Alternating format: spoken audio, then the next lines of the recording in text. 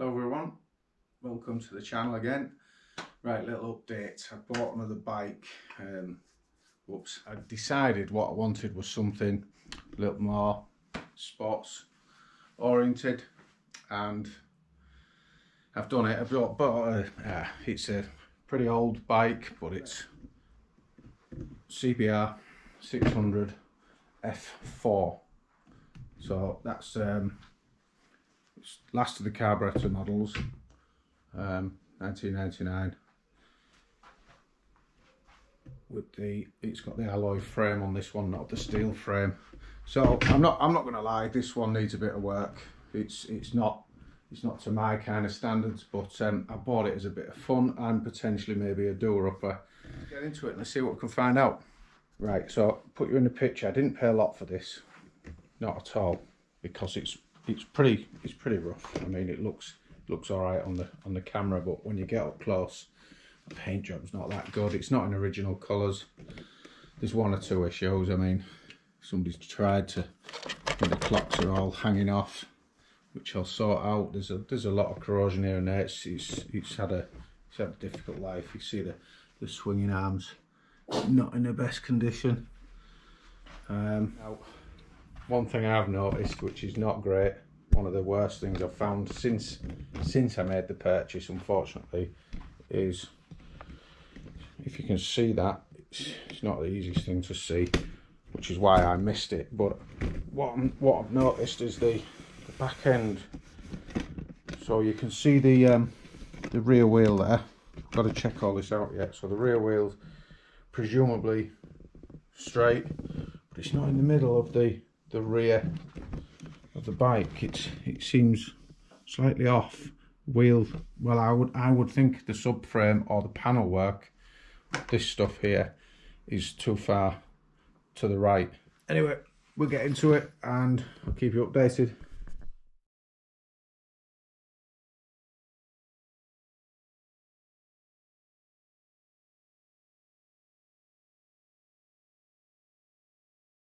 Right, update, update on the CBR 600. Um, it's good news.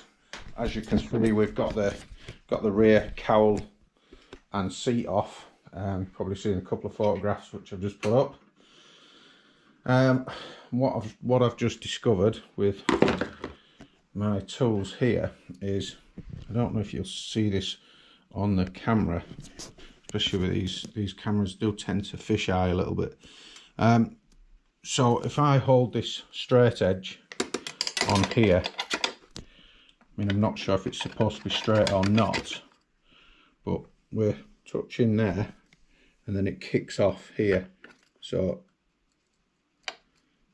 see that movement there? And we have similar at the other side. If I try to it's difficult because the battery box is in the way. Similar at the other side you know if it's touching there but then we get to this end, the gap is much bigger, much bigger there. So then I moved on to the um, engineer square and I can't get right up into the corner because of these welds here. This is a round tube, square tube. So if I place it on the flat tube here, let's get it as far as I can. And then if you look at that gap there, you can see it, it definitely kicks off a bit of an angle. And then if I turn it round you would expect that angle to be the same. It is clearly the total opposite. So that, that this end of the square is touching there and the gaps at, into the corner here.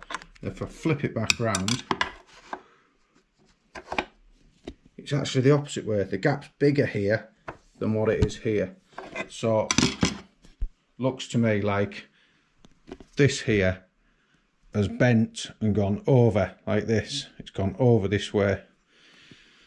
So it's not major catastrophe. Um, it's a bit of a strip down and good excuse to tidy it up. I mean, all the wiring was a bit of a mess. It's all just, it needs a polish and a clean and I can change some bolts.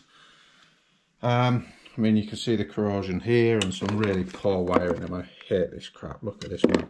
That's terrible. So I'll fix it up. I'm going to order a new subframe, which is a few bolts really, it's nothing major. Right, a few days have passed and uh, postman's been.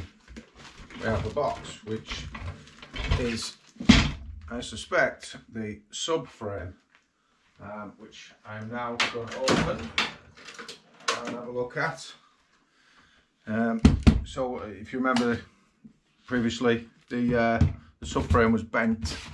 So I managed to source a second-hand one, um, good old eBay, and um, so that's arrived. So let's unpack that and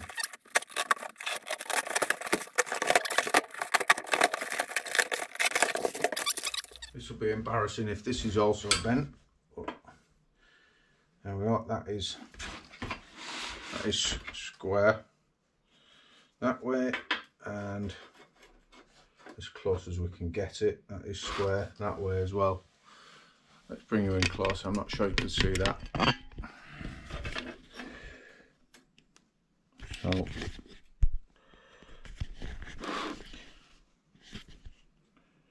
yeah that's square that way. And square that way unlike mine which was far from square